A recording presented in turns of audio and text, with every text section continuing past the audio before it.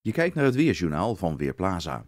Er liggen nog wolken boven Nederland en uit die bewolking valt hier en daar ook wel wat regen. Het zijn geen grote hoeveelheden, maar het kan dus hier en daar wat spetteren. Hier en daar ook een beetje zonneschijn. De kans daarop is het grootst in het westen van het land. En vanochtend hebben we al temperaturen van een graad of 6.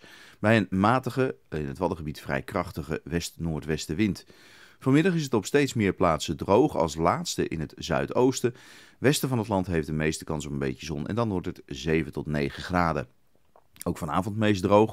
Op de meeste plaatsen houden wolkenvelden het voor het zeggen en de temperatuur begint langzaam te dalen. Komende nacht in een opklaring, misschien dicht bij het vriespunt en kans op een mistbank. Dan morgen overdag veel bewolking in het binnenland, wat meer ruimte voor de zon in het westen en later ook landinwaarts een kleine opklaring. Het wordt een graad of 6, in het zuiden is het wat zachter.